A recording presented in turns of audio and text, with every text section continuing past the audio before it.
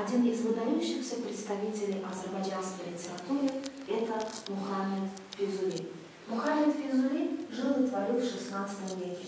Он сам родился в городе Багдаде, потому что во время нашествия татар на город семья Физули была вынуждена переселиться э, в Багдад. В то время многие азербайджанские семьи покидали свои места и переселялись в разные страны Востока.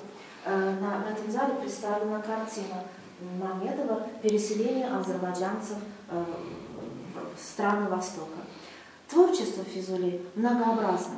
Прекрасные газели, аллегорические поэмы занимают большое место в его творчестве.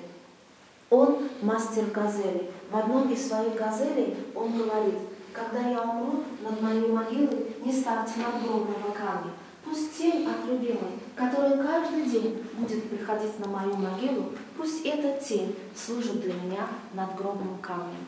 Как я отметила, аллегорические произведения «Гашиш и вино», э, «Беседа плодов», «Здоровье и болезнь» занимают важное место в творчестве Физули.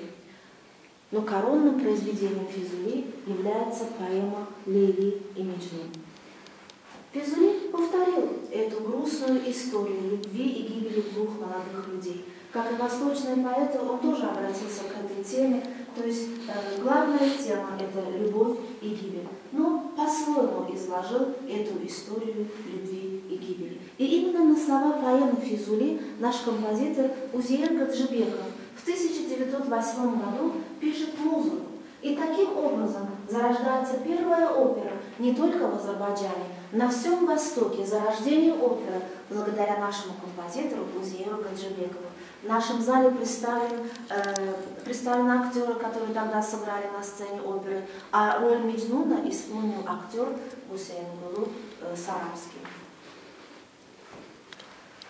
Еще э, далее мы увидим э, памятник Физули. Это дипломная работа выпускника архитектурного института Ильджана Шамилова.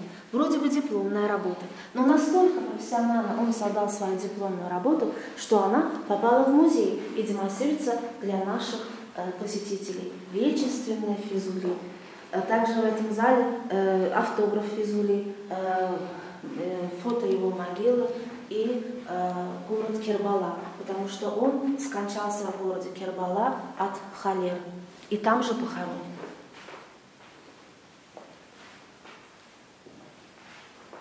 Пятисотлетие Физули отмечалось по линии ЮНЕСКО э, в 90-х годах, и этот ковер был соткан 500-летию Физули. В центре Физули слова из его газели. Э, во Франции демонстрируется этот ковер, а сейчас у нас музей для наших посетителей.